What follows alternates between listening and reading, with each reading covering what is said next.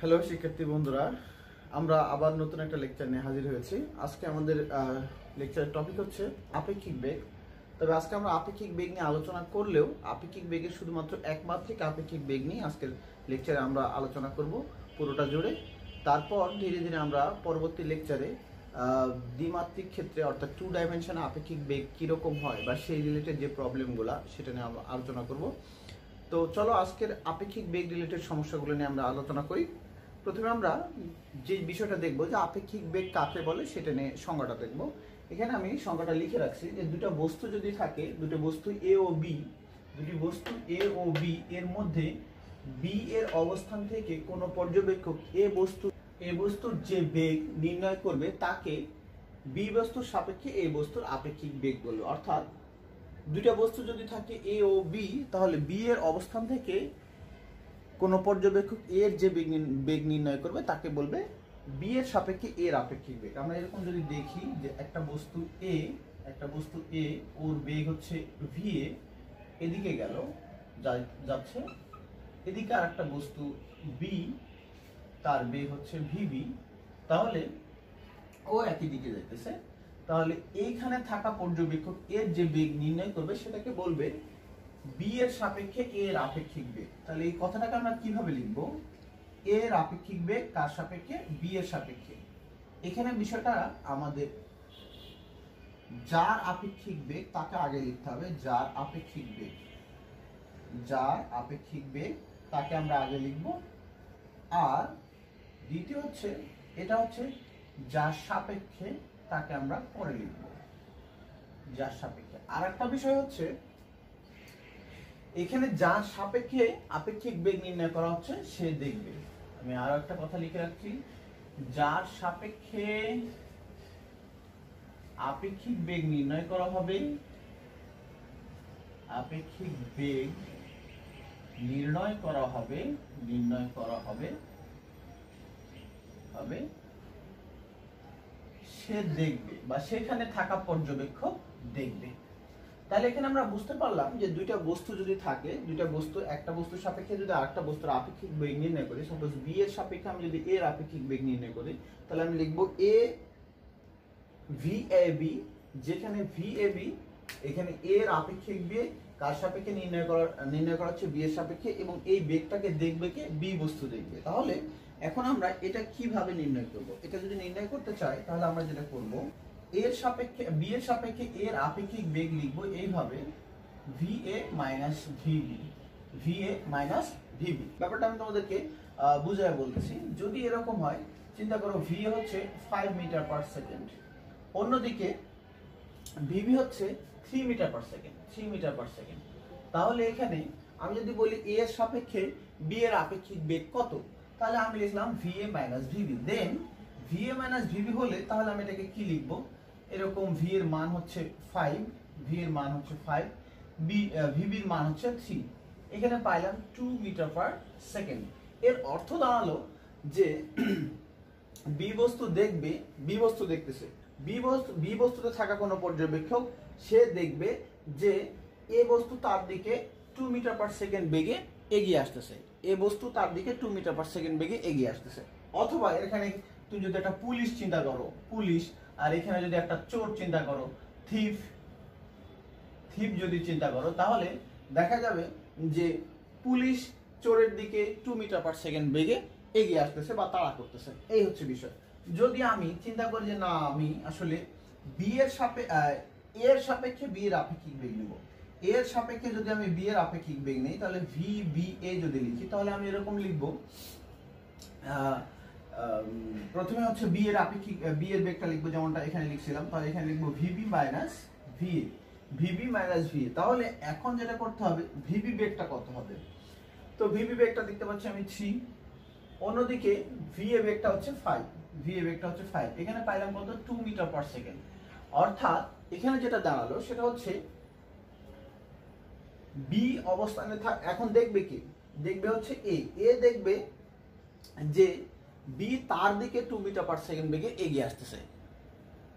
পিছিয়ে যাচ্ছে যেহেতু। বি কে এ দেখবে যে তার দিকে সে টু মিটার পার সেকেন্ড বেগে এগিয়ে আসতেছে। কার দিকে? বি এর দিকে এগিয়ে আসতেছে। কারণ দেখবে এবার কে? এ দেখবে। তো এইটা হচ্ছে আমাদের আপেক্ষিক বেগের কনসেপ্ট এখন একটা জিনিস খেয়াল করে দেখো যে আমরা এখানে আপেক্ষিক বেগ নির্ণয় করার ক্ষেত্রে একটা বেগ থেকে আরেকটা বেগকে বিয়োগ করলাম। দুইটা ভেক্টরের মধ্যে যদি চিন্তা করি, দুইটা ভেক্টরের সর্বনিম্ন মান যদি হয়, দুইটা ভেক্টর যদি অবধির মান আর মিনিমাম ইকুয়াল টু হয় পি ডিফারেন্স কিউ এখানে যদি আমি পি কে বড় ধরি, তাহলে আমি পি মাইনাস কিউ লিখতে পারি।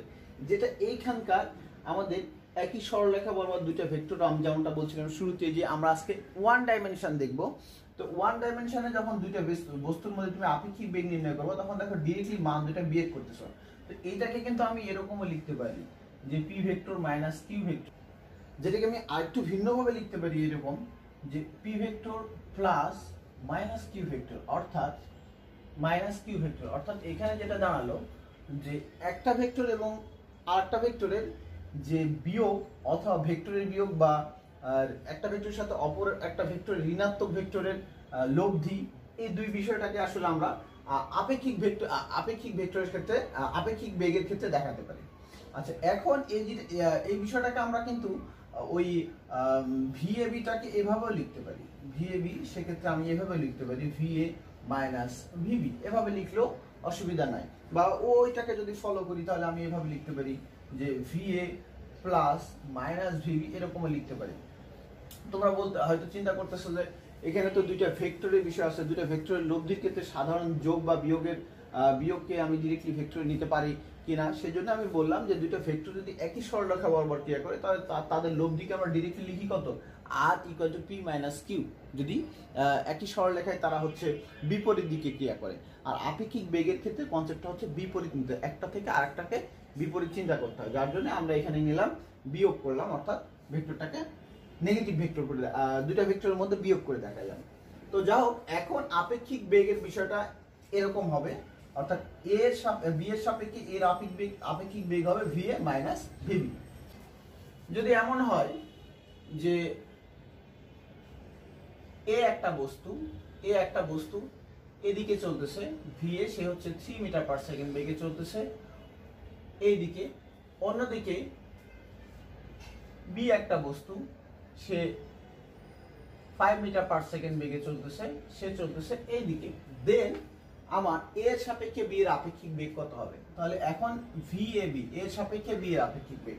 তাহলে আমি এখন লিখব, আগে এ এর বেগটাকে লিখব থ্রি মিটার থ্রি তারপরে তারপরে আমরা কি লিখব? বি এর বেগটাকে লিখব। কিন্তু অবশ্যই আপেক্ষিক বেগের জন্য মাইনাসটা দিব এখন মাইনাস দেওয়ার পরে যে জিনিসটা হবে, যে আমাকে মাইনাস এবং এইখানে আর একটা মাইনাস দিতে হবে। কেন মাইনাস দিতে হবে? কারণ এখানে বেগদয়ের দিক ঋণাত্মক। এইটাকে একটা একটা বিপরীত। যদি এইটাকে পজিটিভ ধরি, তাহলে এইটার দিক তার বিপরীত, যার জন্য এটাকে আমি নেগেটিভ ধরবো। প্রথমে যে জিনিসটা দেখাছিলাম দুইটা বেগের দিক একই দিকে ছিল। কিন্তু এখন একটার দিক যদি এদিকে হয় আর একটা তার বিপরীত দিকে, যার জন্য বিপরীতটাকে নেগেটিভ ধরলাম। আর এই মাইনাসটা হচ্ছে আমাদের আপেক্ষিক বেগ নির্ণয় করতে গেলেই একটা থেকে আরেকটাকে আমাকে বিয়োগ করতে হয়, সেটা আমরা শুরুতে দেখলাম।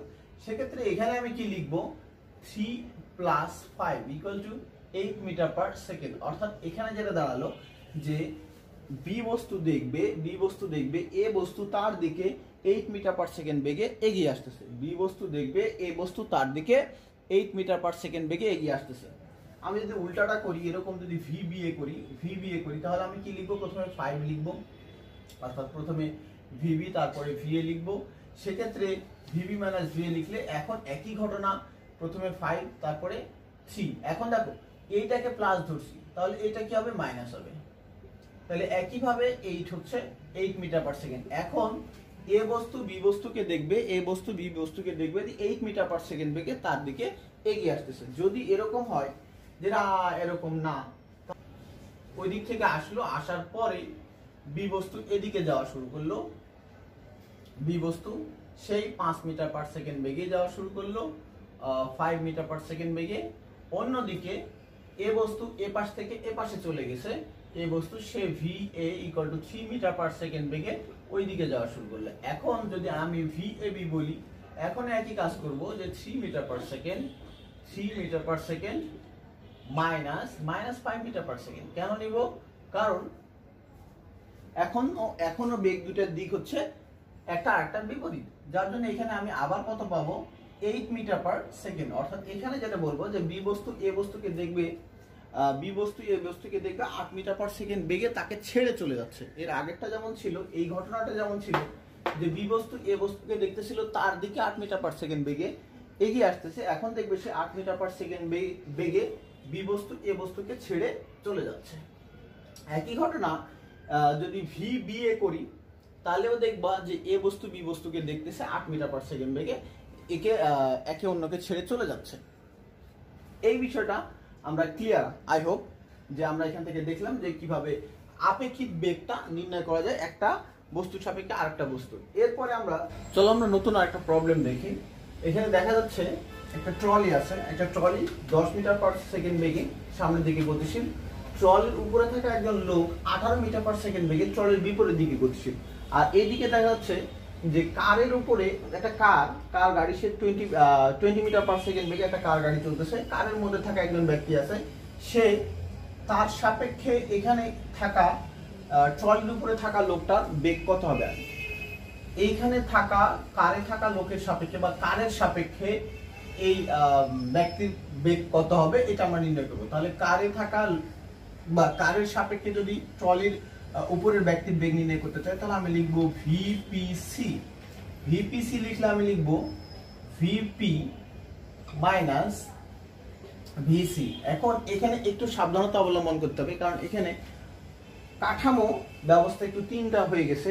তো সবগুলা কাঠামোর আমরা নির্ণয় করব গ্রাউন্ডের সাপেক্ষে বেগটা নেওয়ার চেষ্টা করব। তাহলে আমাদের জন্য অঙ্কটা সঠিকভাবে নির্ণয় করা সম্ভব হবে প্রবলেমটা সঠিকভাবে নির্ণয় করা সম্ভব হবে। এখন দেখো, এখানে যদি আমি পি বেগটা নেই ব্যক্তির যে বেগটা আছে সেটা কার সাপেক্ষে আছে? এই বেগটা আমি প্রথমে নেব গ্রাউন্ডের সাপেক্ষে।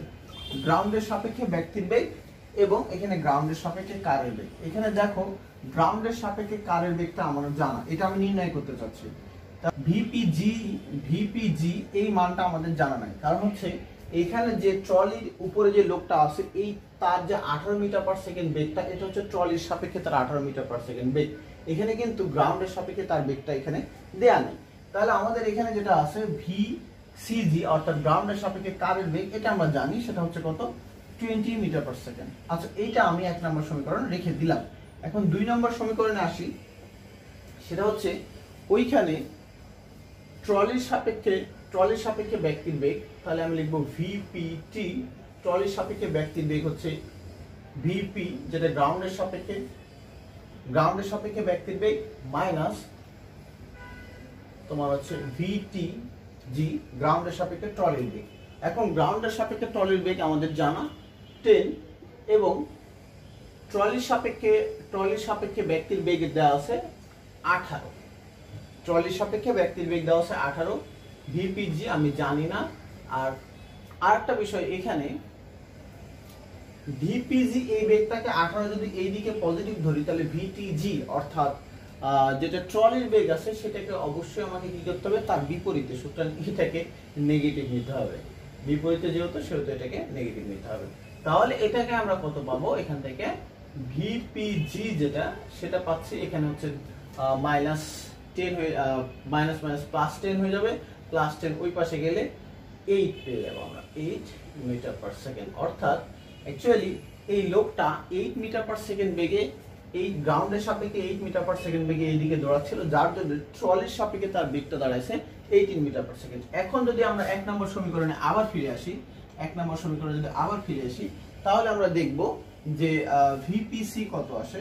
ভিপিসি আমরা এখানে ভিপিজিটা পেয়েছি এইট মাইনাস টোয়েন্টি অর্থাৎ minus twelve metre per second অর্থাৎ এখানে যে জিনিসটা পাইলাম যে কারের সাপেক্ষে ব্যক্তির বেগ হচ্ছে কারের সাপেক্ষে ব্যক্তির বেগ হচ্ছে minus twelve metre per second সেক্ষেত্রে কি দাঁড়াল?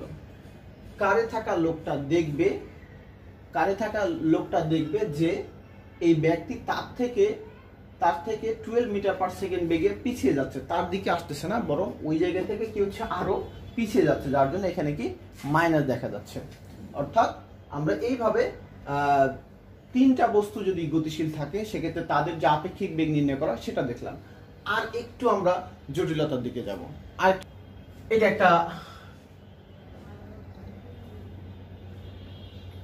কার ছিল? কার না, চিন্তা করে এটাকে একটা ট্রাক চিন্তা করো। ট্রাক বা অন্য কিছু চিন্তা করি এটাকে আমরা ভ্যান চিন্তা করতে পারি। ভ্যান। ভ্যানের উপরে আর একটা লোক আছে, আরেকজন লোক আছে। সে হচ্ছে পার্সন একটা ফিমেল সে সে একটা ফিমেল চিন্তা করলাম সে একটা মেল এটা একটা মেল আর এটা একটা ফিমেল তার বেগ হচ্ছে, ভ্যানের বেগ এখানে ভ্যানের বেগ,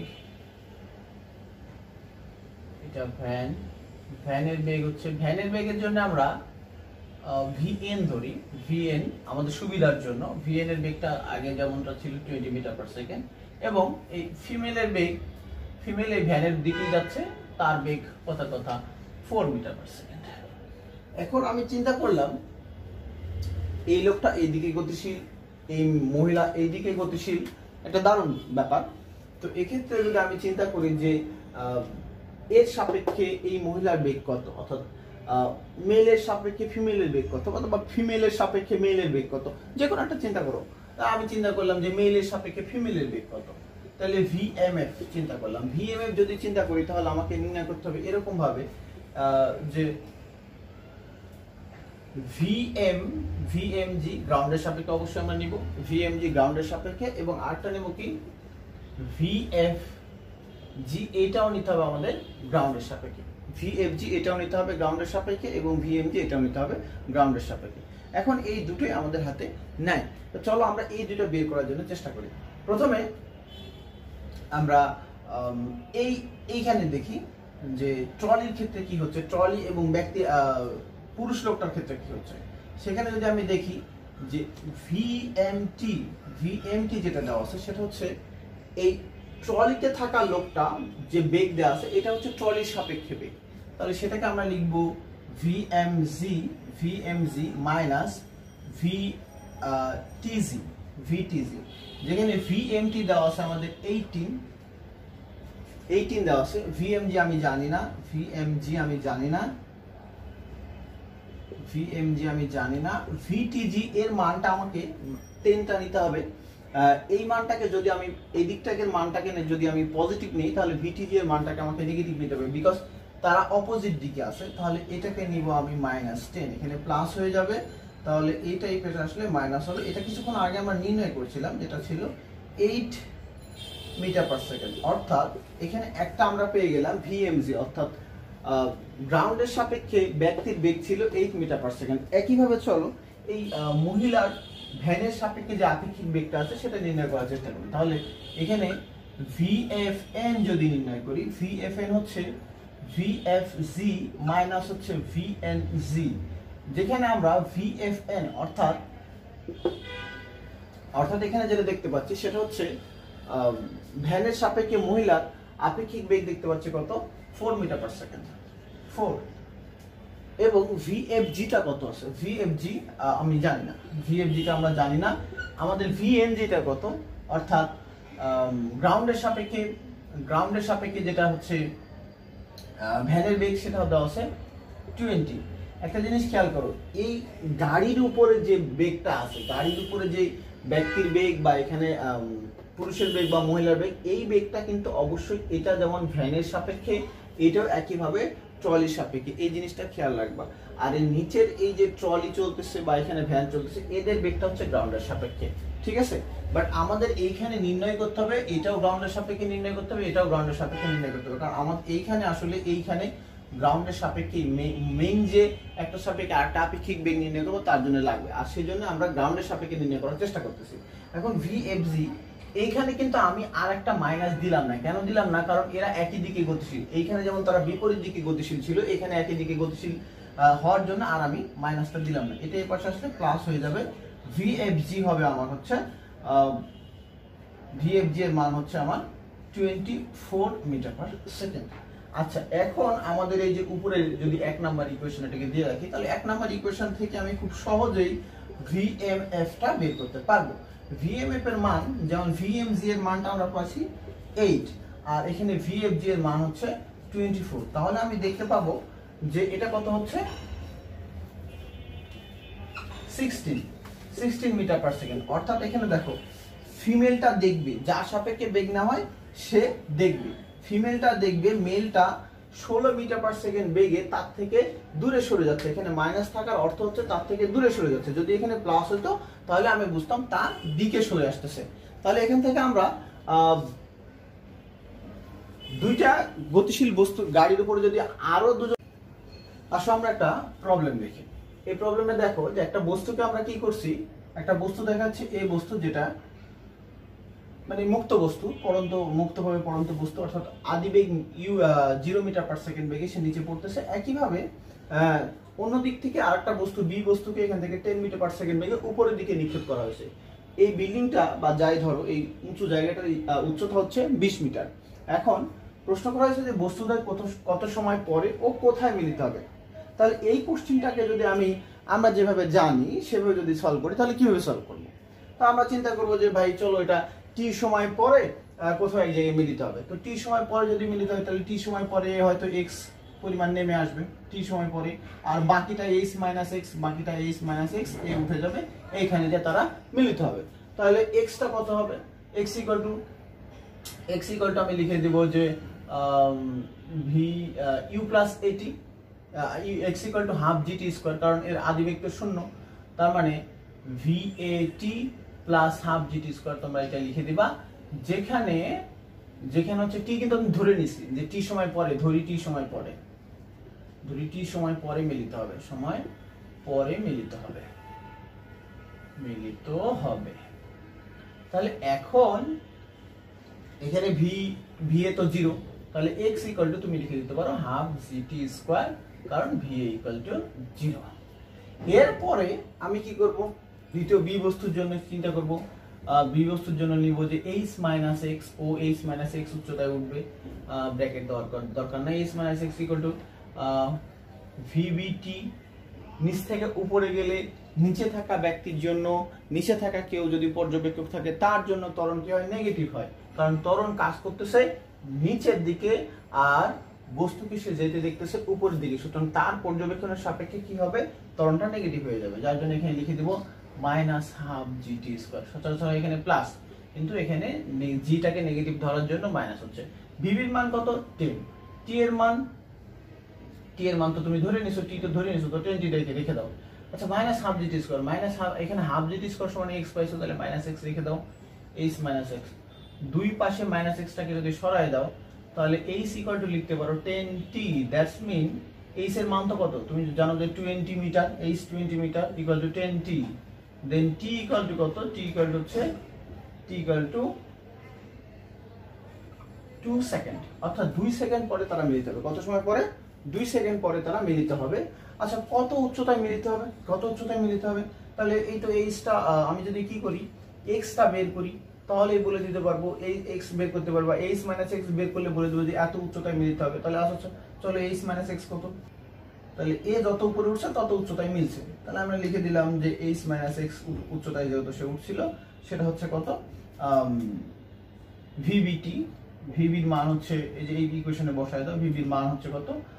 টেন ইন্টু টি এর মান হচ্ছে two minus half into nine point eight into two square তাহলে তুমি এখান থেকে পাচ্ছ টোয়েন্টি আর এখান থেকে নাইনটিন পয়েন্ট সিক্স অর্থাৎ জিরো পয়েন্ট ফোর মিটার উচ্চতায় সে মিলিত হবে। কিন্তু আমরা এত বড় অঙ্কটা করতে যাব না, কারণ আজকে আমরা রিলেটিভ ভেলোসিটি দিয়ে অঙ্ক করব। তাহলে চলো আমরা একটু রিলেটিভ ভেলোসিটি দিয়ে অঙ্কটা কত সহজে করা যায় সেইটা দেখি। আমরা দেখি যে বি বস্তুর সাপেক্ষে এ বস্তুর সাপেক্ষে বি বস্তুর বেগ কত? বি বস্তুর বেগ এ বস্তুর সাপেক্ষে। বি বস্তুর বেগ এ বস্তুর সাপেক্ষে কত আমি লিখব? ভিবি মাইনাস ভি এ তাহলে বি বস্তুর বেগ হচ্ছে টেন মাইনাস এর মান হচ্ছে কত? Zero then it's ten metre per second আচ্ছা এখন একটা বস্তু যেহেতু এখানে উপরে উঠতেছে, আমরা আপেক্ষিক বেগ নিলাম, আপেক্ষিক ত্বরণ নিতে হবে। তাহলে আপেক্ষিক ত্বরণ যদি নেই, তাহলে আমাকে নিতে হবে এ বি এ এ বি এটা কত হবে? এ বস্তুর ত্বরণটা কত? তাহলে এ বস্তু উপর থেকে নিচে নামতেছে? না, বি এর ত্বরণ আমি বলে এ বি মাইনাস এ। আচ্ছা এখানে বি বস্তুর ত্বরণটা কি? এখন তুমি কি করবা? তুমি হয়তো চিন্তা করবে, স্যার এই বস্তুর ত্বরণ তো মাইনাস জি না, এ বস্তুর ত্বরণ প্লাস জি এ বস্তুর উপরও যে ত্বরণ কাজ করতেছিল বি বস্তুর ত্বরণ উপর যে ত্বরণ কাজ করতেছিল, এর ত্বরণ কত? প্লাস জি এর ত্বরণ কত? প্লাস জি দুই ত্বরণে কি? প্লাস জি এর উপরে ত্বরণটা আসলে প্লাস জি কাজ করে। কেন স্যার আমরা যে ওই যে কিছুক্ষণ আগে অঙ্ক করলেন, সেখানে মাইনাস দিই? সেখানে মাইনাস দেওয়ার একটা কারণ আছে। সেখানে মাইনাস দেওয়ার কারণটা হচ্ছে যে নিচে থাকা পর্যবেক্ষকের সাপেক্ষে সে খেয়াল করতেছিল যে বস্তুটার বেগ টেন সেকেন্ড হারে কমে যাচ্ছে, নিচে থাকা পর্যবেক্ষকের সাপেক্ষে। যার জন্য সেখানে আমরা মাইনাস দেই। কিন্তু প্রকৃতপক্ষে তার ত্বরণ কত? প্লাস জি আচ্ছা এখন এইখানে আমরা কার সাপেক্ষে নিচ্ছি? এখানে নিচ্ছি এর সাপেক্ষে। তো যার সাপেক্ষে নেব তাকে না বিয়োগ করব। এখন এ কে আমি বিয়োগ করব। তাহলে বি এর সাপেক্ষে নেই নাই, সুতরাং বি কে আমি বিয়োগ করতেছি না। আচ্ছা ওই বিষয়টা আমি আবার দেখাচ্ছি তোমাদের। তো এখন যদি এ বি এর ত্বরণটা প্লাস জি ধরি, এটার মান কত হচ্ছে? এর মান তো প্লাস জি উপর থেকে নিচে নামতেছে। তাহলে আলটিমেটলি আপেক্ষিক ত্বরণ জি এটা বোধহয় তোমাদের একটু বুঝতে কষ্ট হচ্ছে, কারণ আমি ভিন্নভাবে দেখি। তাহলে যদি এ বি এর সাপেক্ষে এ না নিই এর সাপেক্ষে বি নিই। তাহলে তুমি লিখবা A A minus A B then sir A বস্তুর ত্বরণ কত? আচ্ছা ঠিক আছে এ বস্তুর ত্বরণ প্লাস জি এ বস্তুর ত্বরণ প্লাস জি এখন তুমি বলবা বি বস্তুর ত্বরণ কত স্যার আচ্ছা বি বস্তুর ত্বরণ। এখন তুমি লিখবা, দেখো এখানে মাইনাসটা কেন দিছো? মাইনাসটা এখানে দিছো যে এ এর সাপেক্ষে বি এর বি এর সাপেক্ষে এ এর ত্বরণ। বি এর সাপেক্ষে এ এর ত্বরণ। এখন বি বস্তুকে এ বস এই বি পর্যবেক্ষক এর এর ত্বরণটাকে দেখতেছো, যার জন্য তুমি এইখানে বি এর সাপেক্ষে নেওয়ার জন্য এখানে মাইনাস দিছো। তো তুমি তার জন্য মাইনাস একবার দিছো, দিয়ে আবার তুমি কি করবা? মাইনাসে দিবা। তাইলে হইল, দুই, দুইবার মাইনাস তুমি দিতে পারো না। তোমাকে মাইনাস দিলে একবার দিতে হবে। যার জন্য তুমি এখানে একবার মাইনাস দিবা। দেখো আলটিমেটলি তরণটা কিন্তু ওই জিরোই আসে। তো এইখানে আমরা দেখলাম, একটা কথা মনে রাখবা, যে আপেক্ষিক ভ্যালু আপেক্ষিক ত্বরণের ক্ষেত্রে একটা বস্তু যদি উপর থেকে নামে সাপোজ একটা বস্তু উপর থেকে নিচে পড়তেছে একটা বস্তু উপর থেকে নিচে পড়তেছে, একটা বস্তু নিচ থেকে উপরে পড়তেছে, এই দুজনের আপেক্ষিক ত্বরণ কত? এ ইকুয়াল টু জিরো বা দুজনাই নিচ থেকে উপর থেকে নিচে পড়তেছে দুজনে উপর থেকে নিচে পড়তেছে এ নিচে পড়তেছে বি নিচে পড়তেছে, এই দুজনের আপেক্ষিক ত্বরণ কত হবে? জিরো হবে। কারণ একজনের সাপেক্ষে আরেকটা কি হবে? মাইনাস হবে। আর দুজনের ত্বরণ অলওয়েজ পজিটিভ থাকে, যার জন্য আমরা কি করব? মাইনাস করে জিরো করে দেবো। আপেক্ষিক ত্বরণ অলওয়েজ জিরো ওকে এখন আমরা তাহলে বুঝলাম যে আপেক্ষিক ত্বরণের মান জিরো ত্বরণ নেই আমাদের কোনো মাথা ব্যথা নাই। তাহলে বস্তুটা আসলে এই বেগে বি বস্তুটা উপরে উঠবে। আপেক্ষিক বেগ আমরা পেয়ে গেছি। তাহলে আপেক্ষিক বেগের জন্য এখন কি লিখব? A is equal to UT plus half AT square VAT VBA VBA T plus half A BA T square ভাই এ বি এ তো জিরো তার মানে এটা আমি না, চিন্তাই করার দরকার নাই। ওইটা তো জিরো হয়েই যাবে। আচ্ছা তারপর আমরা যেহেতু ক্যালকুলেশনের স্বার্থে ধরছি। এইচ এর মান এইচ বি এর মান হচ্ছে টোয়েন্টি এইটার মান কত? পাইছি দেখো টেন টি এর মান হচ্ছে টি টি তো আমি এটা ক্যালকুলেশন করব, এটা জিরো তাহলে এখানেও কত পাচ্ছ? টি ইকাল টোয়েন্টি সেভেন দেখো, যে প্রসেসটা বুঝে যাবে, তার জন্য কাজটা অনেক ইজি জাস্ট সে কি করবে? আপেক্ষিক বেগটা বের করবে, তারপরে এই দূরত্বটাকে ভাগ করে দেবে। কারণ আমি কি করব? এই পার্টটুকু রাখবোই না, শুধু টেন দ্বারা টোয়েন্টিকে ভাগ করে দেবো। কাজটা অনেক ইজি হয়ে যায়। তার জন্য আমরা এভাবে আপেক্ষিক বেগের মাধ্যমে কোথায় সে মিলিত হবে সেটা বের করে ফেললাম মানে কত সময় পরে মিলিত হবে সেটা বের করে ফেললাম। এরপরের বিষয়টা হচ্ছে, কোথায় মিলিত হবে? কোথায় মিলিত হবে? এ কত সময় পরে, এ দুই সেকেন্ড পরে যত উচ্চতায় যাবে, সেখানে মিলিত হবে। স্যার, এখানে টোয়েন্টি লেখা আছে। টু সেকেন্ড তাহলে দুই সেকেন্ড পরে বি বস্তু কত উচ্চতা থাকবে দুই সেকেন্ড পরে পরে বি এর উচ্চতা, দুই সেকেন্ড পরে বি এর উচ্চতা হবে কত দেখো।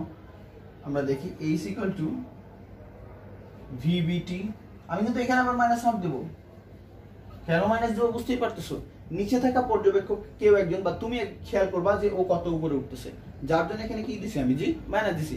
এক্ষেত্রে ভিবির মান কত? আমরা ভিবির মান দিয়ে রাখছি। আমরা কত জানি? টেন ভিবির মান টেন টি এর মান আমি জানি না। হাফ গুণ নাইন পয়েন্ট এইট টু এর মান পাইছি। ও টি এর মান হচ্ছে টু বের করছি আমরা কিছুক্ষণ আগে। এটা হচ্ছে টু স্কোয়ার দেখো আলটিমেটলি আসে ওই জিরো পয়েন্ট ফোর মিটার, যেটা আগেরটার সাথে মিলে যায়। তো এইভাবে আমরা খুব সহজে আপেক্ষিক বেগের মাধ্যমে কোনো দুইটা বস্তু যদি একটা উপরে একটা নিচে নামে, সেক্ষেত্রে তারা কোথায় মিলিত হবে, কতক্ষণ পরে মিলিত হবে, আমরা খুব সহজে নির্ণয় করতে পারি। তিন সেকেন্ড পরে তাদের মধ্যবর্তী দূরত্ব কত? তিন সেকেন্ড একটু বেশি হয়ে যায়। আমরা বলি দুই সেকেন্ড পরে তাদের মধ্যবর্তী দূরত্ব কত? একটা বিল্ডিং থেকে ফেলে দিই সেখানে বিশ মিটার বা এটা কোনো ব্যাপার না, তাদের মধ্যবর্তী দূরত্ব কত?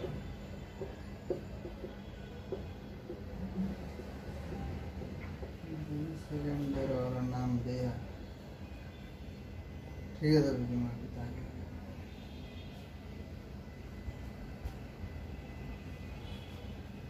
না।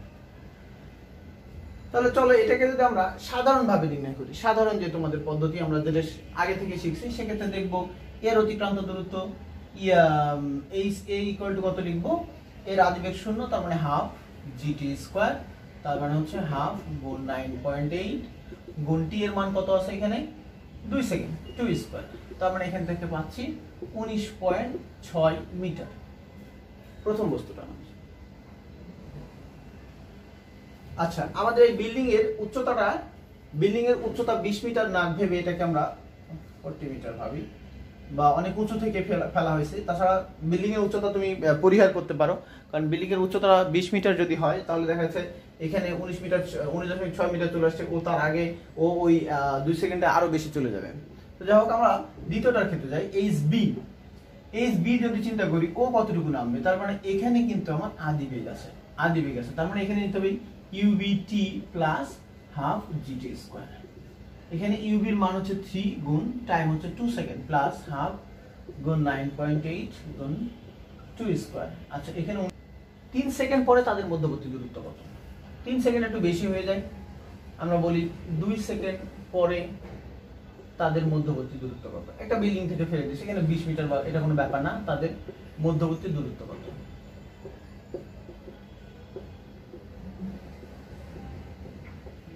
সেকেন্ডের ওর নাম দেয়া ঠিক আছে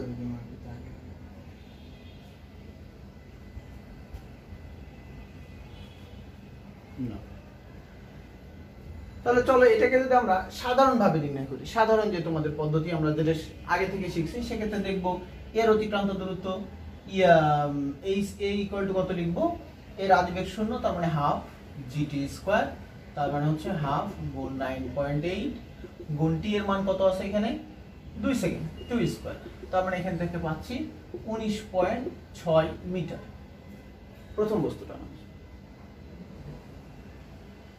আচ্ছা আমাদের এই বিল্ডিং এর উচ্চতাটা বিল্ডিং এর উচ্চতা 20 মিটার না ভেবে এটাকে আমরা 40 মিটার ভাবি বা অনেক উঁচু থেকে ফেলা হয়েছে। তাছাড়া বিল্ডিং এর উচ্চতা তুমি পরিহার করতে পারো। কারণ বিল্ডিং এর উচ্চতা 20 মিটার যদি হয় তাহলে দেখা যাচ্ছে এখানে 19 মিটার উনিশ দশমিক ছয় মিটার চলে আসছে ও তার আগে ও ওই দুই সেকেন্ডে আরও বেশি চলে যাবে। তো যাই হোক, আমরা দ্বিতীয়টার ক্ষেত্রে যাই এইচ বি এইচ বি যদি চিন্তা করি, ও কতটুকু নামবে? তার মানে এখানে কিন্তু আমার আদি বেগ আছে, আদি বেগ আছে। তার মানে এখানে নিতে হবে UBT plus half GT square এখানে ইউবির মান হচ্ছে থ্রি গুণ টাইম হচ্ছে টু সেকেন্ড প্লাস হাফ গুণ নাইন পয়েন্ট এইট গুণ টু স্কোয়ার আচ্ছা এখানে তাহলে ইকুয়াল আসে পঁচিশ point twenty five point six metre তাহলে এদের মধ্যবর্তী দূরত্ব কত? এদের মধ্যবর্তী দূরত্ব মধ্যবর্তী দূরত্ব তুমি হিসাব করবা কত? পঁচিশ পয়েন্ট ছয় মাইনাস উনিশ পয়েন্ট ছয় সিক্স মিটার আচ্ছা এটা আমাদের সাধারণ ব্যাপার ছিল, সাধারণভাবে নির্ণয় করতে পারি। যদি আমি এটাকে একটু রিলেটিভ ভেলোসিটির মাধ্যমে নির্ণয় করি, তাহলে কীরকম হবে? চলো দেখি। এদের মধ্যে রিলেটিভ ভেলোসিটি কত? ইউবিএ ইউবিএ হচ্ছে আমার ইউবি মাইনাস ইউএ ইউবি হচ্ছে three minus zero three metre per second relative ত্বরণ ইউবিএ এবিএ এটার ত্বরণ কত হবে? জি বি এর ত্বরণ হচ্ছে জি এ এর ত্বরণ, ওইটাও জি স্যার কিন্তু রিলেটিভের জন্য মাইনাস দিব, কত হবে? জিরো হয়ে যাবে। এখন, এরা তাহলে কীভাবে কতটুকু নিচে নামবে? কতটুকু পথ? এই ইকুয়াল টু কত UBA T minus plus half G half A T square A B A T square আমি এ বি এর মান কত ধরবো? এ বি এর মান হচ্ছে আমার জিরো তার মানে এই পার্টটা আমার দরকার নাই। ইউবি এর মান কত? আমার থ্রি টি এর মান কত? টু সেকেন্ড তার মানে তারা তাদের মধ্যবর্তী দূরত্ব হবে ছয় মিটার। দেখো, অনেক ইজি ভাবে করা যায়। আর তুমি যখন এটা এমসিকিউ বা ওই টাইপের কোনো প্রবলেম সলভ করবে, এই পার্টটা তুমি রাখবে না, কারণ তুমি অলওয়েজ জানো এটা জিরো তুমি জানো, এটা অলওয়েজ দিল। তুমি শুধু কি লিখবা? এইস ইকুয়াল টু ইউবিএটি অর্থাৎ সমবেগের ফর্মুলাটা ফেলবা। তাহলে খুব সহজে অঙ্কটা আমরা সলিউশন করতে পারি। আর একটা প্রবলেম আমরা যাব।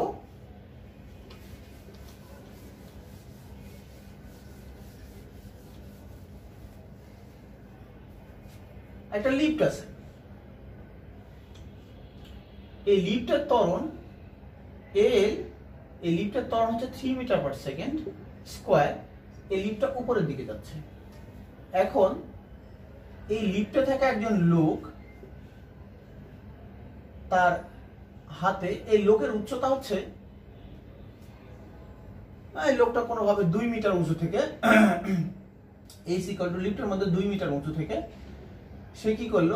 একটা ভারী বস্তু নিচে ফেলে দিল। সেটা নিচে পড়ে গেল। তাহলে প্রশ্ন হচ্ছে এটা পড়ে যেতে কত সময় লাগবে? এই এম ভরের বস্তুটা নিচে পড়ে যেতে কত সময় লাগবে?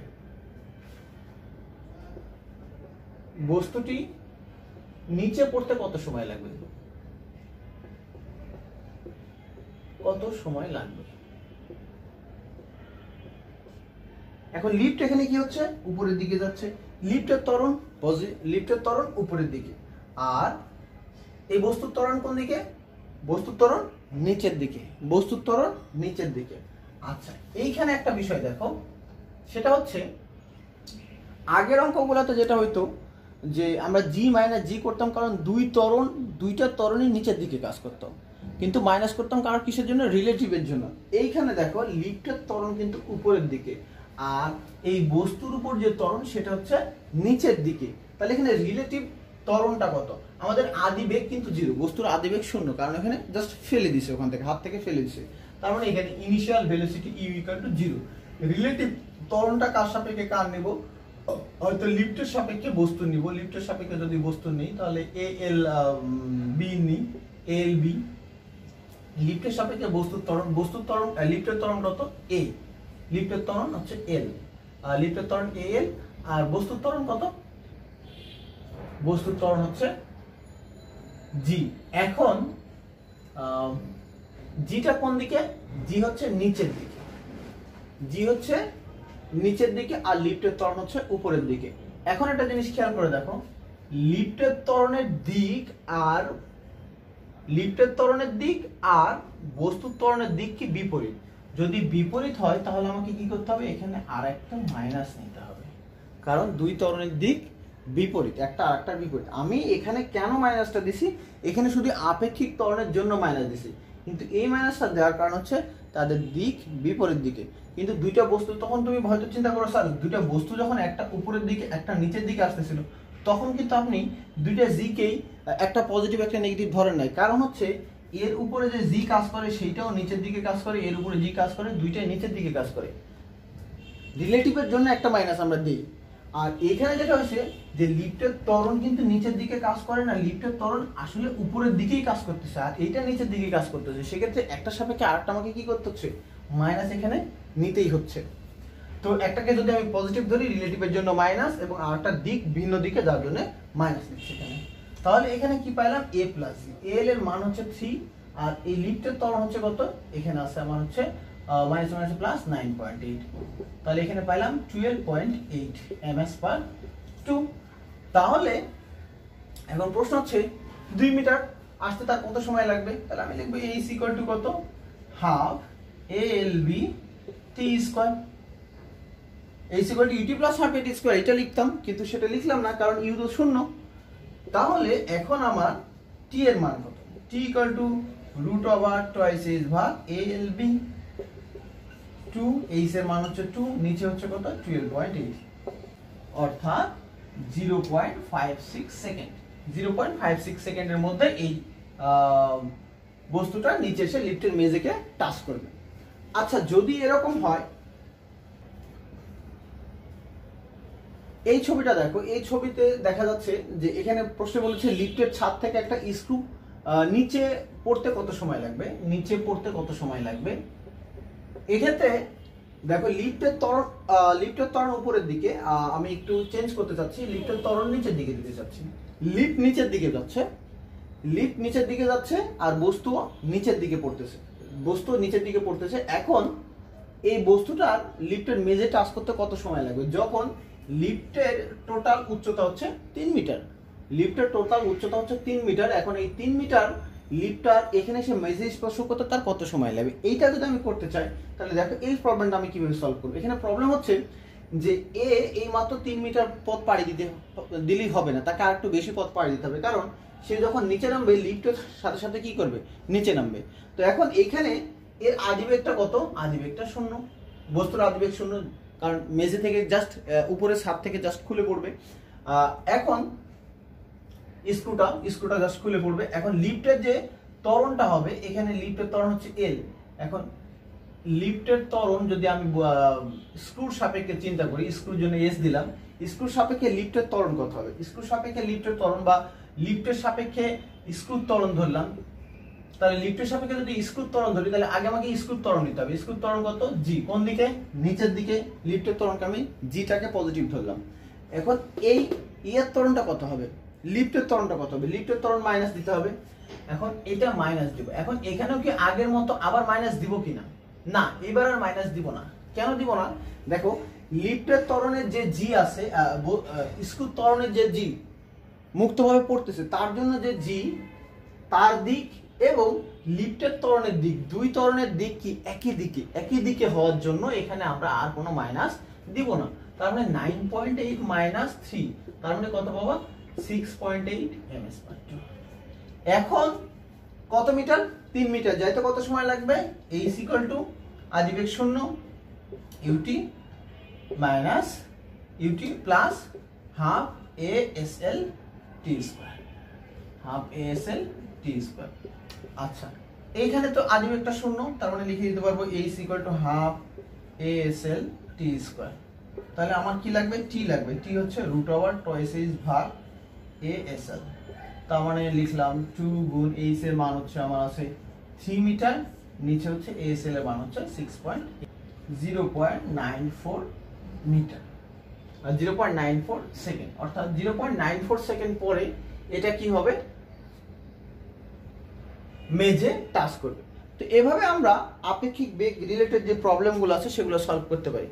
তো শিক্ষার্থী বন্ধুরা আশা করি তোমরা এই আপেক্ষিক রিলেটেড এক, একমাত্রিক যে আপেক্ষিক বেগের যে সমস্যাগুলো তৈরি হয় সেক্ষেত্রে আমরা যেগুলো দেখলাম, এখান থেকে তোমাদের এই সমস্যাগুলো দূর হবে, আর তোমরা আপেক্ষিক বেগের যে বিষয়গুলো ভালো মতো বুঝবা। আমরা পরবর্তী ক্লাসে দ্বিমাত্রিক গতির ক্ষেত্রে, দ্বিমাত্রিক গতির ক্ষেত্রে আপেক্ষিক বেগের যে সমস্যাগুলো, সেগুলো নিয়ে আলোচনা করব। খোদা হাফেজ।